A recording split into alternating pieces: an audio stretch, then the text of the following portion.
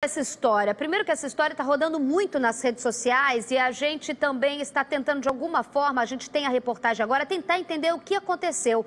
Todo desaparecimento é um mistério e esse daí está muito maior, é o desaparecimento de uma professora.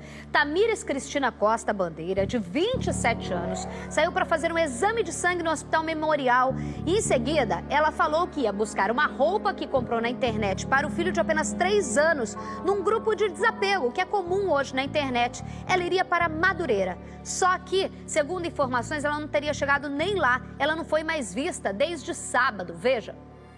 Na casa humilde em Olaria, a família está reunida o tempo todo, desesperada em busca da resposta a apenas uma pergunta: Onde está Tamires? Eu só quero quem tiver notícia da minha filha, pelo amor de Deus, que traga ela pra gente. Porque a gente está sofrendo muito, muito. A minha filha não é desse jeito.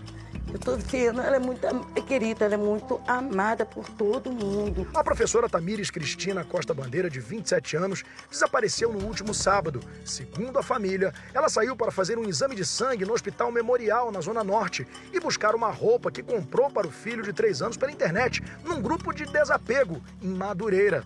Depois disso, ninguém teve mais notícias dela. É certo ela ter saído de casa e direto no memorial porque lá ela teria horário e ela é muito correta. Esse negócio de horário com ela, ela é muito correta. E ela não compareceu lá.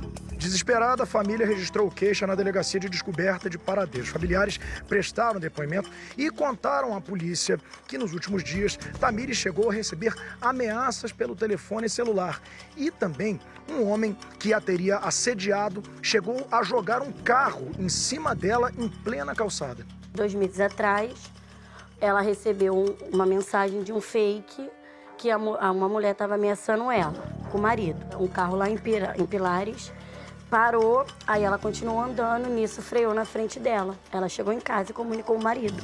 Entendeu? Só isso que ficamos sabendo, mais de nada.